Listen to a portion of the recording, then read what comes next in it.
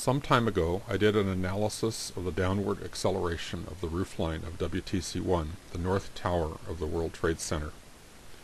I was only able to track the motion through the first few seconds while the roofline was visible above the debris cloud. I found that the drop of the roofline occurred with sudden onset and underwent a uniform acceleration, 64% of the acceleration of gravity. I started the current project to explore whether the same acceleration continued all the way down or whether it changed as the destruction moved down the building. I found the answer to that question, but along the way I noticed something else that is perhaps even more intriguing. We'll come to that unexpected observation at the end of this video. One of the most conspicuous features of the destruction of the Twin Towers on 9-11-2001 was the rapid rate of fall. For most people, their intuition tells them that buildings do not fall in on themselves, especially that fast, in any kind of natural event. Intuition does not have the last word in a situation like this, but blindly accepting the contrary pronouncements of authority figures is little better and perhaps worse as a guide to the truth. We need to look for ourselves. It is commonplace to hear that the Twin Towers fell at free fall speed. As a point of clarification, the rate of fall is characterized by acceleration, not speed. This is more than just a vocabulary question. It involves a basic concept. So let's pause for a little demonstration. One tool I use for studying motion on video clips is a program called Tracker. It's part of the open source physics project and it's freely available on the internet. What I'm going to do here is drop a soccer ball and record its motion. To do that, I have to add marks on each frame. The program collects the positions from the pixel locations and the times from the frame numbers. It displays the data in a table and a graph. This graph shows the vertical position y versus time t. What results is a picture of the motion of the ball spread out over time.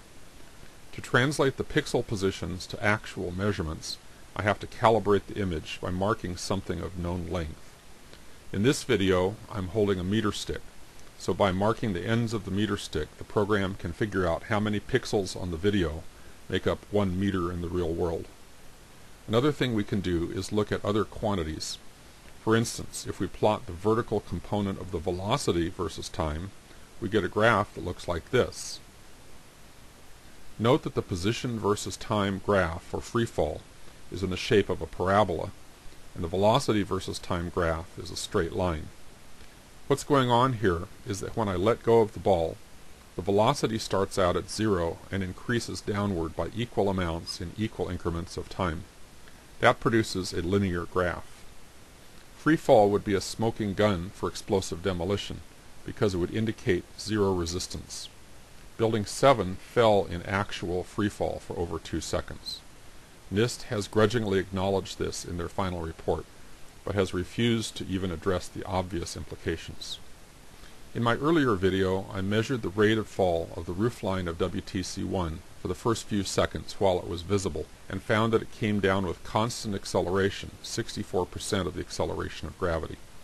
In that video, I showed the fact that the top section of the building accelerated right through its collision with the lower section, is also a smoking gun for explosive demolition.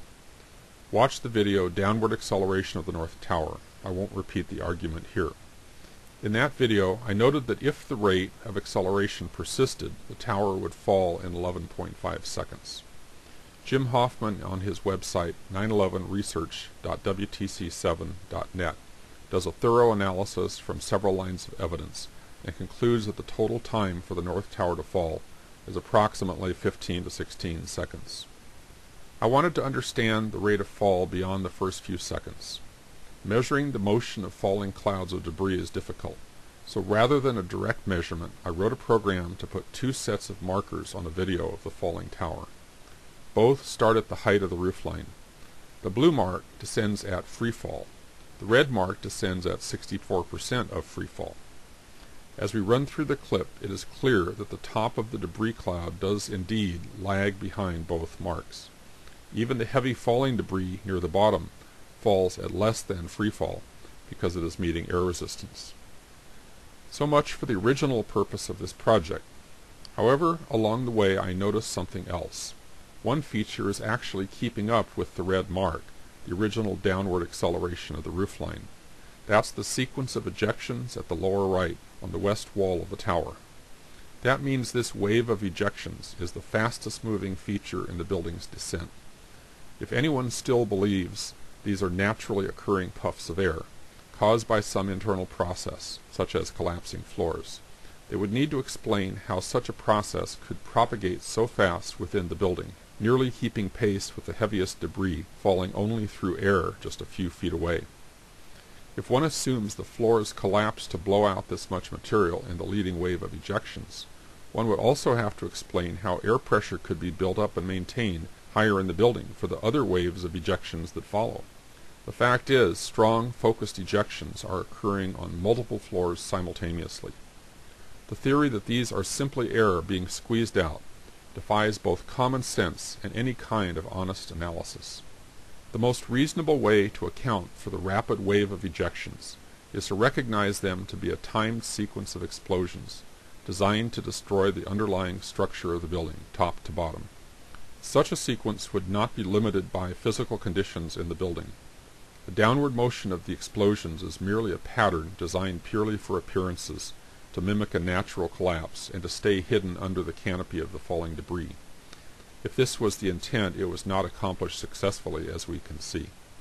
Perhaps the reason the leading wave of explosions propagate down the building at the same rate as the initial acceleration of the roofline is they were timed that way on the assumption that the building would continue to fall at the initial rate all the way down. That last point is just a speculation, of course, but the measured outcome is not.